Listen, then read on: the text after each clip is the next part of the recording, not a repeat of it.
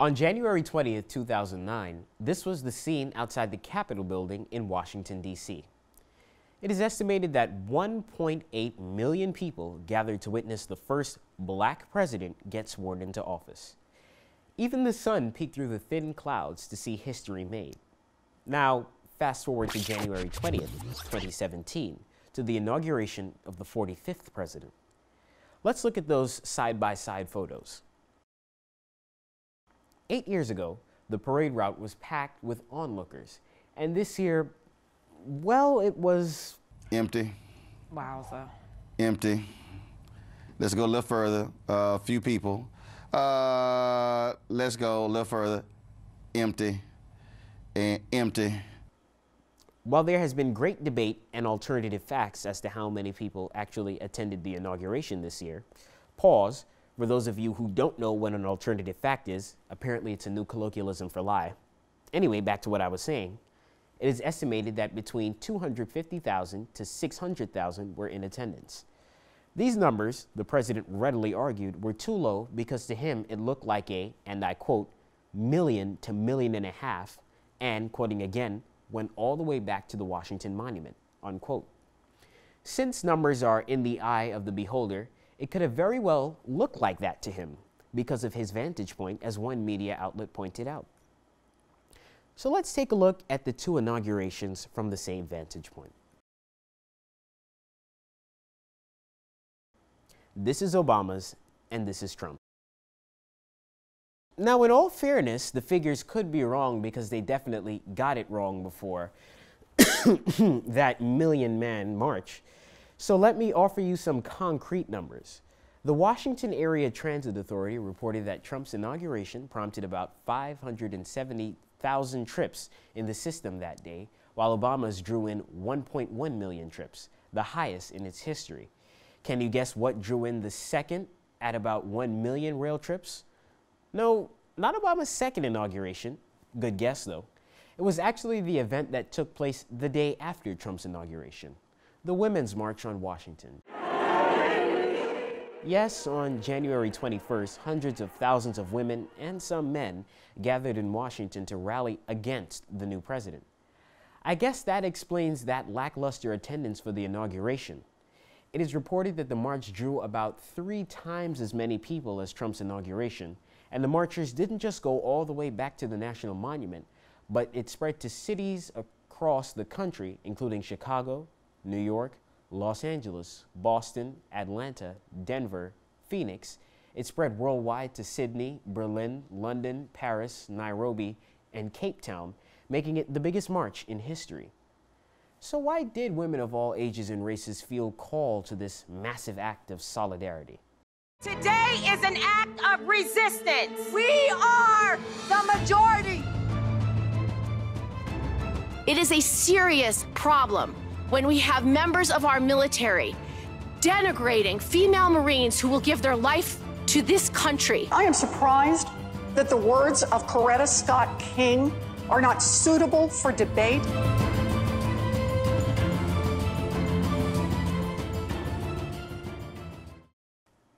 That's quite a list, and all of the issues on it are equally important and deserve to be addressed. But on this Youth Channel special, we are going to discuss reproductive rights and what's at stake in the Trump era. Here with me to unpack this issue is social justice lawyer Elizabeth Hira, who serves on the board of directors of the New York Abortion Access Fund. Most recently, she advised the Center for Reproductive Rights on legal and policy strategy to advance reproductive rights over the long term and as an associate at Civitas Public Affairs Group in New York. She supported strategic advocacy to abolish the death penalty nationally and forward LGBT non-discrimination policies at the state and federal level, combating discriminatory religious practices, and advancing reproductive justice. During law school, Elizabeth worked to protect civil liberties with the Brennan Center for Justice to ensure child labor prohibitions in World Bank projects with the personal office of Senator Tom Harkin and she advocated for women's rights internationally in South Africa and Uganda. And thank you, Ms. Hira, for coming on the program today. Well, as I mentioned in the intro, you are on the board of directors for NIAF, the New York Abortion Access Fund. Mm -hmm. So, first, tell us a little bit about this organization and how you became involved. So, the New York Abortion Access Fund is a New York based organization. We are all volunteer um, run, and so we have a group of about 80 people who volunteer to man our hotlines, and there uh, are formerly eight and now 16 of us, or 15 of us, who are on the actual board of directors. What the New York Abortion Access Fund does is provide funds for people who are either from New York or traveling to New York to have abortions, and it's as simple as that. Um, I think a lot of people don't realize that abortion services are not, are sometimes prohibitively expensive for folks, mm-hmm. and so what we do is if you need help to fund your abortion, you call us. Um, we have three hotlines that run across the entire state of New York. There is uh, uh, service inside of New York City, outside of New York City, um, and a Spanish speaking hotline as well. So you call us and kind of no questions asked, we work with you to figure out how we can um, aid you in funding to be able mm-hmm. to receive the services that you need. Okay. And as a social justice lawyer, you have championed many causes, including abolishing the death penalty, equal rights for the LGBTQ community, mm-hmm. and reproductive justice. Mm-hmm. What are some injustices against reproductive rights that made you join this cause? Oh, geez. I I think that when we talk about reproductive justice, you don't even need to mm-hmm. wake up and say, well, I care about women's issues, and that's why I've joined the fight. I think for me in particular, what I was struck by was just inequality for for women, mm-hmm. and I think for people who are trying to access reproductive health care, that was just unacceptable. Um, and I think particularly, I'm an immigrant. I'm from the Caribbean. I am, for that reason, I think especially proud to be in a country that values equality as a, a core tenet of who we are and what we believe in, and to see really basic things that I think we should take for granted about things like autonomy, like control over our own bodies, about mm-hmm. the decisions that we make with our lives. Um, those seem like pretty fundamental things that every American should be able to decide for themselves. And so I think I became involved in reproductive rights. Um, and reproductive justice broadly because I was shocked at the level of the discourse that we were having mm-hmm. that was basically justifying um, control over other people that didn't seem like it really jibed with the way that we view ourselves as Americans. Mm-hmm. Um, actually, my background is in, in, international human rights, so I started particularly women working with um, women in all, all around the world my clinical work uh, when I was at Georgetown was in Uganda, and it was amazing to me at the time that I was doing that work in Uganda. Um, I would be sitting down with students, college students like yourself, or high school students, and yeah. saying, uh, you know, this is the work that we're working on, uh, particularly with abortion rights and contraceptive access. And at the time that I was having those conversations, they would say to me, "Hey, we've been reading in the Times or in the paper that we have uh, here, because we all have internet access. We're reading many of the same papers around the globe."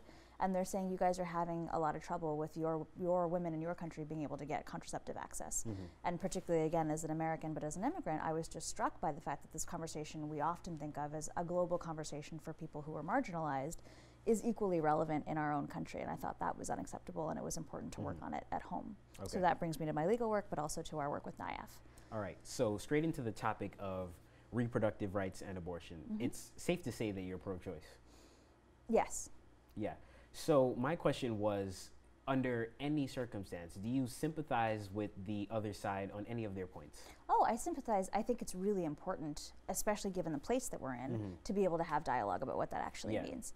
Um, I think I, on any issue that's difficult, it's really important to recognize that wherever someone is coming from, they're coming from for mm-hmm. a reason. Uh, I don't believe that we should have no dialogue about this. In yeah. fact, I think we should increase dialogue about it. And I actually think it's really important to understand that and this is speaking in my own personal capacity, not yeah. in that of my organization. Mm. For my organization, we don't ask questions about why you're doing what you're doing. The yeah. point is that you have bodily autonomy. For the question of dialogue, though, I think it's really important that we develop beyond this really old paradigm of you are either pro choice or pro life. What we're actually seeing in a lot of data that we get more recently is that America, 69% of Americans do not support the overturning of Roe v. Wade, which mm-hmm. is an important con- a case, yeah. a Supreme Court case that gives us the constitutional right to abortion that is very different than asking the question about would you personally have an abortion and i think mm-hmm. it's really important that we open the dialogue because a lot of people that would maybe not personally choose to have an abortion still respect the rights of other people to have an abortion so i think when you ask the question about whether i'm pro-choice i am definitely pro-choice yeah. but i think it's important to open up the dialogue beyond mm-hmm. whether one falls on one side or another of that issue and i think that it's interesting that you say that because a lot of times we tend to stay like stuck to our own perspective so it's good to see that we can meet in the middle and try to acknowledge where the other side is coming from on mm-hmm. a lot of the mm-hmm. issues. So yeah, it's the important first step to creating a dialogue. There. Yeah. Well, respect is the baseline, mm-hmm. right? So if I can just respect that you're coming from your form your opinion for a reason, mm-hmm. that makes it a lot easier for us to understand and actually come to a place that mm-hmm. we might both agree on. Yes. So this is not the first and probably not the last pro-life president in office. But this one, Donald Trump, is touted as being one of the most vocal about his pro-life positions. Are you alarmed uh, about Donald Trump like being this vocal, or do you think this was a ploy to win the votes of anti-abortionists? Again, answering only in my personal capacity, not Yeah. from my organization. Um, I think. Am I alarmed by Donald Trump's Yeah, do you, are, yeah,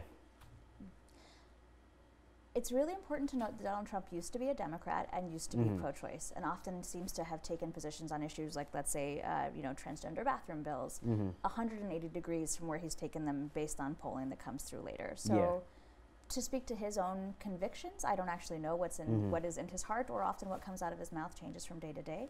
I think that's quite different um, than what actually ends up happening in policy. And I'm sure we'll talk a lot about what those policies will look like. I think the thing to be very aware of is that his culture of flippancy, or his, his flippancy about issues that particularly relate to reproductive justice, have created a culture where other people feel free to say things that maybe they may not have been comfortable saying before. Okay. So you see things like we had a recent, uh, I think it was an Oklahoma state legislator who was talking about abortion rights, and specifically was like a woman who becomes pregnant should know that she is a host. And I think the idea of being like, I'm going to stop talking about you as an autonomous entity with rights and instead refer to you as a host is not the kind of thing we would have expected to hear under whether it was President Reagan or President Obama, honestly, that idea that like you're just an incubator. So to create a climate, um, because of the way that you talk about women, whether you justify your sexual assault against them or anything that might come out of your mouth, um, is a dangerous thing for you to set the tone with as president. okay. Does that answer your question? Yeah, it, it gets in there. So one of the things that the president did once he took office was reinstate the Mexico City policy. Are you familiar with that? Mm-hmm. Yeah. Yeah. Well, just to get a little bit of background for our viewers, it bans the government from funding organizations abroad that have anything to do with abortion. Organizations like International Planned Parenthood. Mm-hmm. Now, the Mexico City policy has gone back and forth between administrations since it was first introduced in 1984. So, do you think that Trump reinstating it was just a political move, or do you feel, again, this is from your personal view, Mm-hmm. that this is a conviction of his?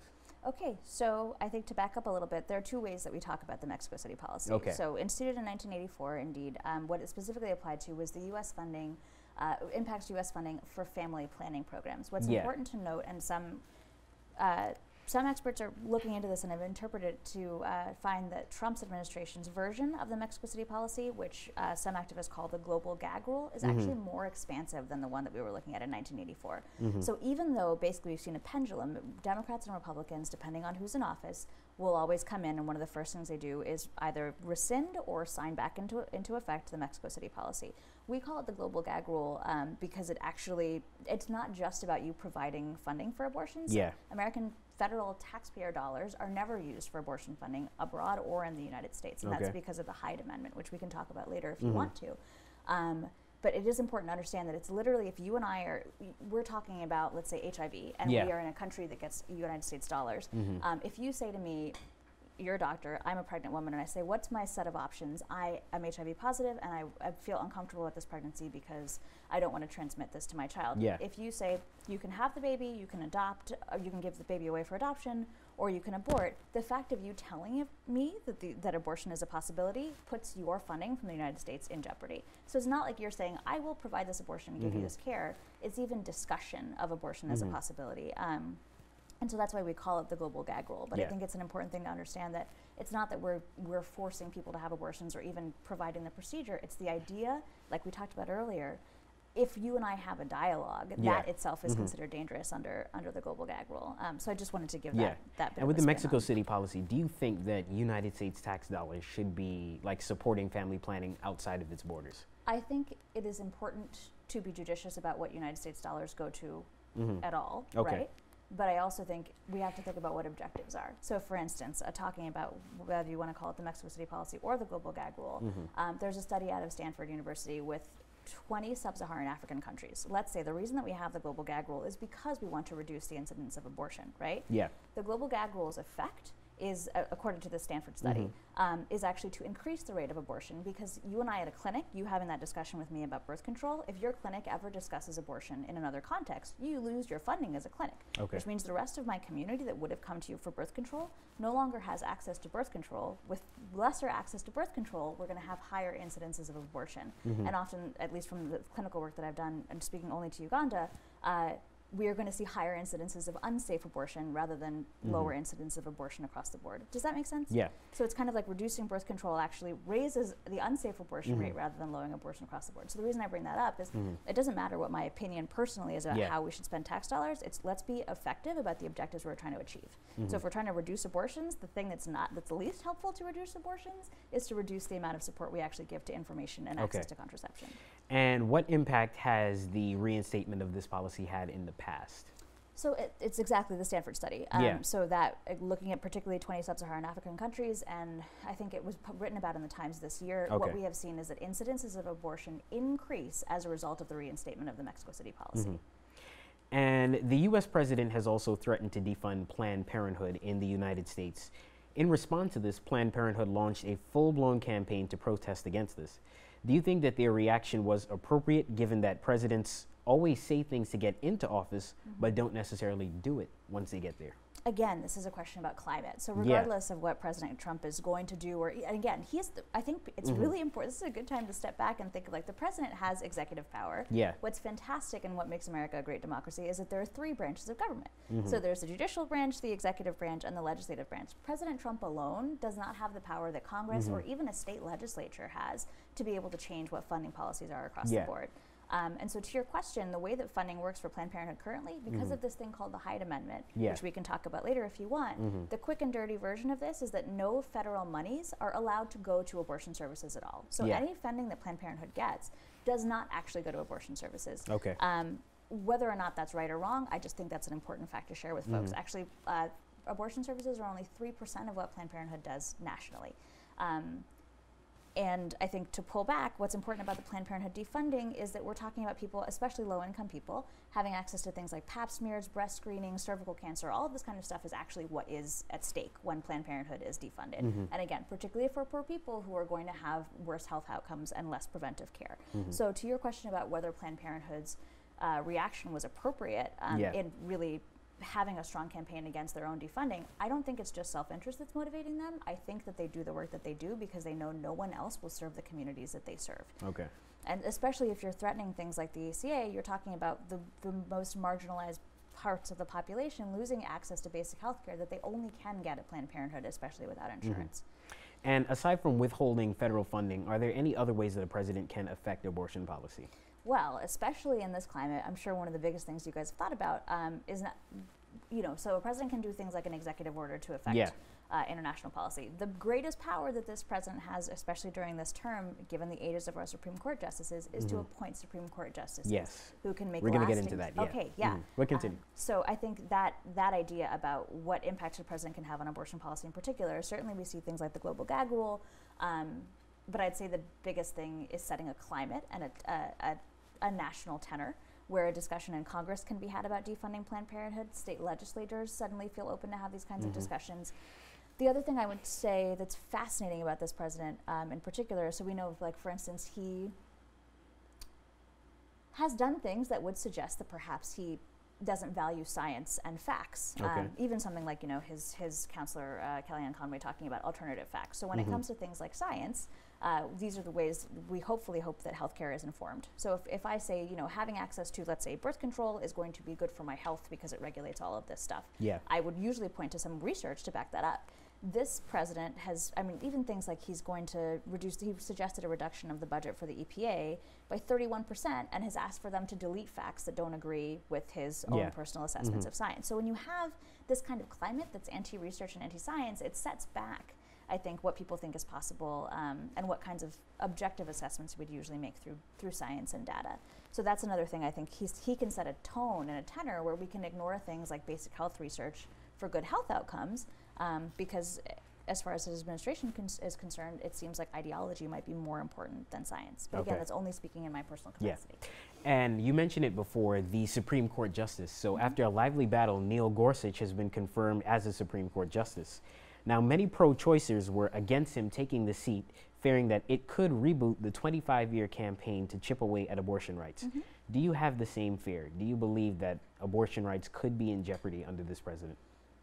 Speaking only as a lawyer, I believe strongly that something that's incredibly important to hold on to is the impartiality of the court. Yeah. And for all of the things that Gorsuch has done, how he rules when he sits in that seat ideally will not be based on political lines. Mm-hmm. Um, and I do think it's important, I think, for us as Americans to remember that the Trump presidency, whether it's four years or, or eight years or however, um, you know, if something unforeseen should happen prior to that, regardless, the judiciary is a different branch. Yeah. And so how the judiciary operates, thankfully, is completely separate than how the executive branch operates. So what this president does, um, you know, what's really wonderful about Supreme Court justices is they are tenured for life. They can choose to retire. Uh, the decisions that they make, they're not beholden to that political structure when they do make them. So I think for Justice Gorsuch, I we cannot anticipate how he is going to rule truly Yeah. because he has not yet ruled. Um, and I want to, as an American and as someone who believes in the democratic process, I want to believe that we shouldn't judge him until we see his decisions. yeah, him getting into office and what he implements. Yeah. And then you mentioned that too because he's get, he's never f- directly ruled on abortion rights, Mm-hmm. and in his confirmation hearing, he explicitly stated that if Trump asked him to vote to repeal Roe versus Wade, he would have walked out the door. Mm-hmm. So you believe that under Gorsuch, at this point, does he look like an objective candidate or one that may be towards party lines? Well, I think we can sometimes look at how justices have voted once they're on the bench. Yeah. We have seen an increasingly political court. Usually you can say, you know, these justices we imagine will go this way and these justices the other way. And again, as a lawyer, I always remind folks we only do that like, you know, these five are going to go this way, these 4 the other way. We only see those on the biggest cases, um, Yeah. the cases that often are the most controversial. So the idea of liberal and conservative justices, I don't think we should out of the gate just be like, well, they belong to a party and they're always going to vote along a party line. Um, and so, yeah, to your question, I don't think that we should judge him until he has made his Ma- yes. decisions. And I think, the, and that's not even me being political. I honestly think that you see amazing thing, ha- things happen. Like I always try to raise the example of, we talk about Earl Warren, who is Yeah. the just the justice that um, was responsible for the decision Brown v. Board of Education that integrated public schools. When you think about the Warren Court, you think absolutely one of the most progressive, wonderful courts um, in the sense of, of going maybe against old constitutional law. We're in a country where slavery was legal by Yes. the Constitution. So to make this sweeping statement that the Constitution would embrace integration is a shocking kind of departure from what the Constitution Yes. actually says. So, you know, you think Earl Warren, he's absolutely a standout candidate for a political actor. Well, Earl Warren, when he was Attorney General of California, was for Japanese internment.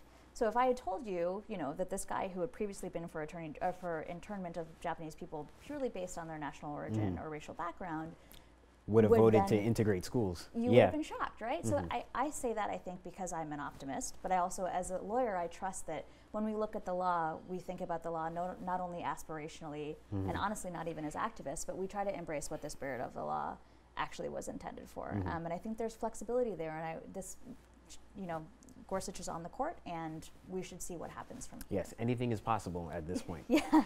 So, do you think that Roe versus Wade is in danger? So, we're going to go back to that a little bit. So, do you think that with this presidency, it may not be changed within these next four to eight years, or we could definitely see a major shift? I think we're going to see a lot of challenges. So the way that this works is that you know you have precedent that's set, and the way that Roe versus Wade has been dealt with in over the well, since it's uh, coming to pass the opinion in, in 1973 was that basically forces who would like to roll back Roe v. Wade have tried every method possible to say, well, this constitutional right exists, but we'd like to roll back your access to that right. Yeah. Um, so, for instance, when we talk about the Hyde Amendment, that's actually saying, well, uh, Henry Hyde, when he actually was, was having the discussing the amendment on the floor, uh, said, "I would really love to ban." I, this is not verbatim, but the idea was, I wish I could stop rich women from having abortions and poor women having abortions, but unfortunately, the only vehicle available to me is the Medicaid bill, meaning I can only affect poor women. Um, and so the idea was, you're basically seeing this play out where any way we can chip away at the right, we are, and so basically, if I can't change your constitutional right, I'd like to change your access to that right. Did you uh, do you know about the Supreme Court case that happened? I think it was last June uh, on, about abortion rights. Elaborate. Okay, so Yeah. there's a case called Whole Women's Health v. Heller, Okay. v. Hellerstedt, and that was about a set of laws in Texas. Um, and those laws were, like we talked about with science, they were ostensibly to protect women's health. Okay, Um, yeah. And so HB2 or the, the, the, the bill and the law that was under consideration. Um, what they actually had as part of the regulations wasn't like, oh, these abortions are that are being performed are unsafe or anything like that. In fact, abortion is safer than a shot of penicillin. Um, and I was just hearing a, a doctor um, for Physicians for Reproductive Health speak recently that apparently abortions are safer than running a marathon when you look at your body. Mm-hmm. Um, and so these are just contextual points. But the big thing is uh, Whole Women's Health was about what turned out to be false junk science about Yeah. women's health being compromised by them trying to get abortions. And so I use that as an example. These bills would do things like uh, say, well, if you're going to be in a clinic um, where you're doing a surgical procedure that takes no more than five minutes or giving someone an abortion pill that they are going to go home and actually experience the abortion with, we're still going to use this opportunity to regulate things like how how wide are your hallways, how big are your janitorial closets, um, and other kinds of things that actually had no impact on the quality of care being given to people. So they were using these workarounds to try to cut back at the constitutional right. Um, while still saying that they were protecting women's health, which was just false. So the reason I bring that up is because we're not even having a conversation anymore about whether abortion should or should not be constitutional. It is constitutional, and the way that it's been attacked in the courts is by picking up every possible other little way that we can chip away at the right. So to that extent, Roe v. Wade has been chipped away at um, by a line of cases that you know we can talk about, and uh, I think the place that we're in now is basically going to invite more challenges to for people who are are basically against the constitutional right to abortion. Um, And one of the things that I wanted to bring up about the safety of abortion, we Mm-hmm. have Norma McCorvey, who was Roe in Roe versus Wade, Mm-hmm. switched her position and then said that she was against abortion because it harmed uh, women. Mm-hmm. So if the very woman who was Roe in Roe versus Wade Mm-hmm. is coming out and saying that she regrets having this happen and then she feels that this is a risk to women, Mm-hmm. what impact do you think that it had on the case and do you think that there's legitimacy to that argument? I think a lot of people don't actually know about that change Yeah. that occurred for. Um, I was Jane- surprised when I found that out. Yeah, Yeah. absolutely, and I think she's a really interesting case, and I think Mm-hmm. she's also got a bunch of other changes that happened in her life, um, and really some difficult circumstances that brought her to the abortion in the first case. The only reason I think it's even worth it to discuss her case in particular Yeah. is that every abortion is its own abortion, Mm-hmm. um, and for that, again, coming back to science, right? We've seen in some later opinions, I think it was Justice Kennedy talking about uh, women coming to regret their abortion. And again, doing polling and data about the majority of women who have had abortions and their immediate relief or their immediate, immediate feeling afterward, I'm pretty sure that the number one most reported feeling is relief. And I think this is an example of where it's really important to interrogate what our data is versus what we anecdotally think. Like, there's actually a study that just came out of NYU recently um, that was about the fact that the people who have abortions are least likely to tell someone else if they think that other person is anti-choice. And it turns out that the thing that we think is most likely to change someone's mind about whether abortions are okay is if they know somebody who has had an abortion. Okay. So if you are, you know, you're my uncle and I know that I think you are never going to accept me and the only thing that's going to make you change your mind about abortion is knowing that I had an abortion, Yeah. we're kind of at an impasse because we're not creating a space to actually have mm-hmm. that conversation. So if I think I don't know if it's a helpful analog, but you think about the change that's occurred in the last 10 years toward LGBT rights and things like marriage equality or gay marriage in the United States. The biggest factor that seems to change people's mind about accepting that as an option is going, "Oh gosh, I didn't know my nephew was gay, my neighbor is gay, mm-hmm. somebody who goes to church with me is gay." And so if abortion is kind of kept in the closet in the same way, even though this is a thing that uh, I think the data has changed a little bit recently, but by all accounts, we can basically say one in three American women is going to have an abortion in her lifetime or has mm. had an abortion. That means one in three women that you know has definitely had an mm. abortion. And opening up the space to talk about that, I think, mm-hmm. creates a change in how we perceive it. And I had two specific questions there Sure. relating to abortion. So, does NYAAF or you personally, do you believe that there should be a trimester limit on abortion or should it be at any point in the pregnancy?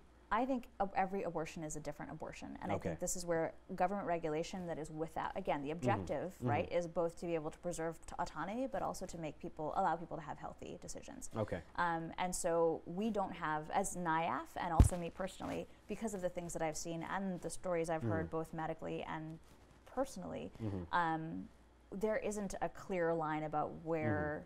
Well, outside of a medical speaking, let's say, should there be a trimester limit? I don't think there's a way to talk about abortion okay. by saying it's outside of a medical context. Like, actually, mm-hmm. most people don't know. So, 90% of abortions occur within the first trimester, mm-hmm. right? So, actually, I think a lot of people don't know that. So, when Donald Trump, for instance, was in the debates and talking about babies being ripped from the womb, there is no universe in which that that type of abortion exists. And to me, it was a real pity because it's an example of someone talking about a healthcare procedure with zero zero evident knowledge of that healthcare procedure. So 90% of abortions are occurring in the first trimester. Um, and beyond that, the vast majority of late term abortions that do occur are because of genetic abnormalities. Okay. We're talking about risks to the life of the mother, but also the child will not survive. I've talked to people um, on my own experience, in my own experience with NIAF, where I'm servicing the hotline, where I have people who are saying, "I this was very much a wanted pregnancy. If I deliver this child, it will already be dead, mm-hmm. or it is it is dead in my womb, and I wish mm-hmm. I could have it, but I cannot." And there is no universe in which I would look at that person and say, Yeah. "Well, you know, I've mm-hmm. decided because I, with no health knowledge and no, n- and just my personal ideology, I'm going to dictate what your personal situation should be." Yeah. Well, just a clarification Mm-hmm. from earlier. I meant like threat to the mother or the child's health, like just situations in which the, the pregnancy has to be terminated for personal reasons. Abs- Yeah. ex- Mhm. Elaborate. You- So, like, let's say because of financial status or security, they have Mm-hmm. to like terminate the pregnancy outside of, let's say, it's going to threaten the mother's health. Okay. Then should there be a trimester limit or something? But we elaborated on that and Okay, spoke. got Mm-hmm. it. So I wanted to go into now that the U.S. president has not explicitly said that he wants to make abortion illegal in the U.S. He simply said that he would like to turn the decision making uh, um, on abortion rights to the states. What is wrong with that? Analyzing it at the state level or deciding on it at the state level rather than at the federal level. Um, there are a couple of things. It depends on how much time we have, Zion. Yeah, well, go in, go into it. But the biggest, uh, the biggest problem with allowing punting it back to the states, as it were, is that we're talking about a constitutional right, Mm-hmm. and the Constitution is a document that applies to the entire United States. Mm-hmm. And the thing that feels most dangerous to me about punting it back to the states and allowing it to be a state decision is that when we come to constitutional rights, what we're talking about are rights that are so fundamental that they should never be jeopardized by the decision of state legislators or other citizens or anything like that. We're talking about what makes us American and what is what our Constitution has decided is mm-hmm. part of our fundamental freedoms. I think it's also really important when we talk about states' rights to remember what the origins of those arguments are. So, states' rights in the United States, especially when we were basically coming out of an era transitioning from slavery and out of segregation, Yeah. was the way that we were able to without having to say it out loud, say we would like to be able to make decisions about whether we are slave owning territories. Mm-hmm. And then a hundred years later, whether we believe in integration, whether Yeah. we believe in interracial marriage, all of those things, we were not able to, s- we didn't have to say these are about us denying other people their constitutional rights because we mm-hmm. could instead say, let's leave it up to the states. Even to the decision that was made in Obergefell, the idea that states should be allowed to make that decision about whether gay marriage should be con- legal was essentially saying, I, won't, I don't want you to have this constitutional right and to have the equality and freedom that the Constitution actually guarantees you. So I want to put abortion rights, if the Constitution has been interpreted by the Supreme Court mm-hmm. to suggest that abortion is a constitutional right, then it seems like that should hold as much weight as any other constitutional right. And as a country that has made mistakes in the past, and to often turn to states' rights to be able to, to allow us to rob other people of their constitutional rights, the fact that that's the place that the president goes, um, that to, to push it back to the states seems to me like it's a dangerous next point in that continuum. And on the issue of constitutional rights, do you believe that the child that is being aborted in the situation has any constitutional rights? I think when when a fetus becomes a child is a question that should be left up to science. Um, and I also think ultimately this is one of the trickiest questions because you are talking about when constitutional rights attach. Um, and then again, even from an originalist standpoint, which is when we actually look to interpreting the Constitution through how the founding fathers would have looked at it, it's not the not the view that I take personally Okay. because uh, the founding fathers were slaveholders, and so if you are an originalist interpreter, you would never allow for the end of slavery to be something that could have been fathomed by the Constitution.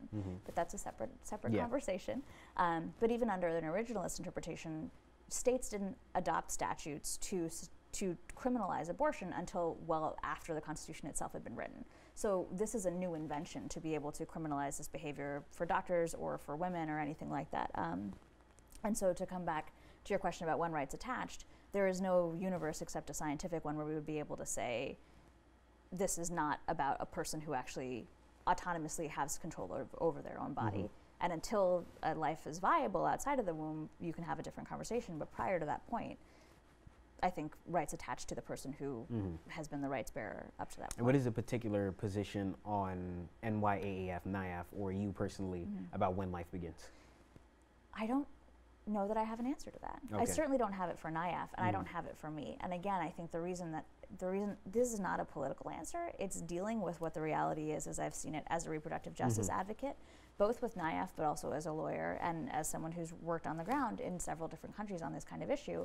We don't even get to these nice questions or interesting philosophical questions because what we're dealing with is somebody was pregnant, they thought they couldn't tell their father, they went to a butcher, and now, mm-hmm. after being butchered, is le- literally left in a trench to die and to bleed out. And so, when you're talking about those are the consequences of the worst kinds of the lack of safe medical care, mm-hmm. has incredible consequences. Banning abortion has consequences like that that I am aware of and have written about. Mm-hmm knowing that that's at stake, I'm not willing to engage in the philosophical niceties. Often, as we saw at that bill signing, with a room of men who have never experienced abortion and probably haven't spoken to people in their lives who have had abortions mm-hmm. about what that experience actually was like.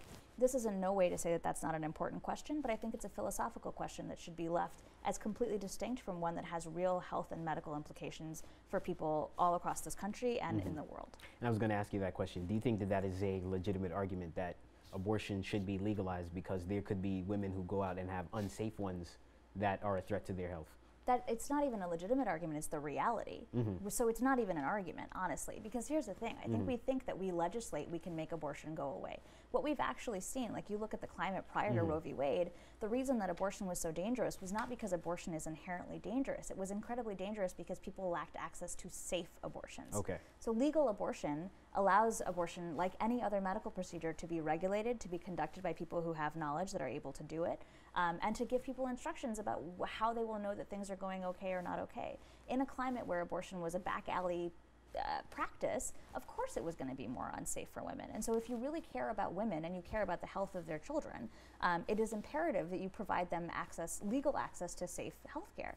Um, and I think this is also really important. The picture that we have often, like one of the reasons that a lot of women do have abortions um, is because they're already mothers. And so, for the care of their family, I think that the statistic is something like 61% of women who have abortions are already mothers. And these are often decisions, 82, according to Guttmacher Institute, um, 82% of women who are having abortions have had conversations and have the support of their partner in making that decision. So this is not this picture of this like shady woman going into an alley and making a decision alone. This is a decision that often mothers are making in, in tandem with their partners um, about what will affect their family and what's for the well-being of their family. And not mm-hmm. to say that there's mm-hmm. a right abortion, but just the idea is that this is not like regulating abortion out of existence will only increase the instances of unsafe abortion. And if you care about women and you care about children, you should not allow that to happen. And then, do you think that abortion should be legal no matter what? Do you think, w- are you willing to compromise, or are people in your circle, like say NIAF, are willing to compromise on legislation, like meet the right on the issue halfway. We need to talk about it. We mm-hmm. absolutely need to talk about it. I don't stick my, I am absolutely not going to be intransigent about anything because mm-hmm. I think it's important to have conversations like this about what does it actually mean. I often find that having a conversation like that idea, that stat that 90% of abortions are occurring in the first trimester, I think is really important for folks to know. And I'm sure there are stats that are coming from the other side that they that I sh- would know and would maybe mm-hmm. affect my opinion. And so I'm not going to say that I have a hard line one way or another. And this is certainly not speaking for NIAF. This is only in okay. my, my capacity. Again, I think what all we say, there's a saying in the law, bad, uh, what is it? Good law, good, hard cases make for bad law. Okay. So you have this the instances that are always going to be heartbreakers. That's actually not the majority of the instances that are occurring. Mm. And so to stick on the most extreme examples, whether it's pro-life people or pro-choice people, um, often doesn't actually get to the reality of what's going on. So I think it's imperative that we all be willing to have dialogues and actually meet each other, at least hear each other out. Um, but I think that's separate than when, in this particular conversation, the responsibility of the government is to protect the health and well-being of its citizens. And I think to limit their options is anathema to the Constitution and to their own well-being, um, and frankly, is kind of abdicating responsibility to have a conversation and create protections for citizens under the Constitution. And I read an article that said the pro life movement has never been stronger. What are your thoughts on this? The pro life movement has never, well, do you think the pro life movement has gained strength in the past few months, I'll say, under Donald Trump? I think they have. I, that's such an impossible thing to quantify. I think it's interesting to even think that the pro life movement has never been stronger for exactly the reason that we were talking about. People who have been pro choice have often been quiet. And mm. whether mm-hmm. you're I might not even identify as pro-choice, but I know that I've had, if, if I am uh, Yeah. this hypothetical, if I'm someone who's had an abortion and I don't identify as pro-choice, maybe I've never thought about whether I am pro-choice or not. This is also mm-hmm. really fascinating. We're seeing the first generation. I think April of last year was the first time that millennials were the largest voting cohort. Right? Mm-hmm. Millennials, 1980 or onward, you know, Yeah. count your count a little bit flexibly. They're the first group of people who have grown up in a post Roe v. Wade society. Mm-hmm. So you often talk to people, or rather, when I speak to people who are from from older generations, they are absolutely hell bent on me knowing about what rights they won for us. Mm-hmm. Whereas I get to grow up in an environment where I take for granted that I have bodily Yeah. autonomy and control. So I think you see a lot of people. It's really interesting how it plays out, even in this fight with young women today, about whether they identify as feminist, because I think they don't come from a climate where it was preposterous that they would be able to be in the workplace, right? Would be able to go to college at high at, at higher rates than men even. Um, they take for granted, I think, and myself included, a lot of the rights that people before us had to fight for. And so I think the idea that the pro-life movement has never been stronger, I think probably could be answered by the Women's March, which I think by all accounts is actually one of the largest marches, at least globally in history, um, for where particularly women and people who care for women for the first time realized what could potentially be at stake here. When you have a president who is literally saying things like, mm-hmm. it's okay to grab women by the pussy, whether that was in a private context or not, mm-hmm. the idea that that could come out of someone's mouth when they were going to be president is, is shocking, frankly. And I mm. think that's important for us to discuss as a society is what does this actually mean about what our respect is for people who are women and their basic fundamental equity. Um, never mind saying things like, I think people who get abortion should be punished. And I don't say that to be sensational. I'm saying I think we should be honest and open brokers about the kinds of, the level of dialogue that's actually happening. So whether whether or not they have been more strong in the past, they're certainly very vocal. And I think to your question about what is what is the power of the president, the Yeah. president is able to set a tenor. Um, and I think it's our responsibility as citizens, if we don't accept that that climate, to be vocal in return. Mhm. Set the tone for what his term is going to be. Yeah. So, well, not to get too philosophical in nature, but in one of our final questions, I wanted to ask Do you believe abortion is the matter of a woman's right to choose or the rights of the child, if it is determined to be one? It's, it's a complex interpretation question. Matter of a woman's right to choose or the rights of the unborn child. I wish I had the luxury to get to think about things like that. Mm. I don't know. I think children outside of the womb absolutely have rights, and I think women are not just incubators. And I think again, every abort, every medical decision is a complex medical decision. And maybe I'll flip it back at you. I would be happy to answer that question if we would be able to ask the same questions about whether uh, a vasectomy is the matter uh, is a matter of the potential child, or a menstrual cycle is a matter of a potential child, right? So a woman who chooses to, uh, you know, go through a hysterectomy, or a man who chooses to have a vasectomy. At what point do we push back and say, you know, honestly, even we're seeing some state states offering bills about saying men shouldn't be allowed to have ejaculate outside of, of the sexual act because you are are potentially compromising a child. And I'm not saying that these are are great solutions from a regulatory state standpoint. I just think that when we ask these questions, we silo this specific issue of, uh, of a fetus or you know the potentiality of life without thinking about what the long continuum is. And I don't have an answer for them philosophically because, as a lawyer and as a person and as a member of this organization, the New York Abortion Access Fund, I'm dealing with the practical realities of this. And when somebody calls me and says, I'm in a domestic violence situation and I don't have the funding to be able to have this done, and I know that my life will be in danger if I have this child. Can you help? That's not a great time for me to say, hey, well, let me let me really think about whether I believe you should have access to your constitutional rights or not. And I think I have a role to play for that particular question for that particular person, and that's why I'm here, and that's why I'm a part of the organization I am. And I'll say the final question for this forum here right now is if you had anything to say to President Trump or to the anti abortion side, what would you say? To say, to appeal for the rights of women, to appeal for the rights of choice, what would you say? I would probably say if you could take the time to sit down in a room alone Mm-hmm. with six women who you love and ask them whether they've ever ex- had an experience with abortion themselves or anyone else they love, um, if they would be willing to talk about that with you. And I would, I would entreat those people to honestly, earnestly, and openly listen to the answers that they got. Well, Ms. Hira, thank you so much for joining us today, and this has been a great dialogue. Today's show may be over, but the fight on reproductive rights continues. How will reproductive rights fare under President Trump? Only time will tell. But for now, I'm Zion Decoto. This has been an MNN special. Thank you so much for joining us.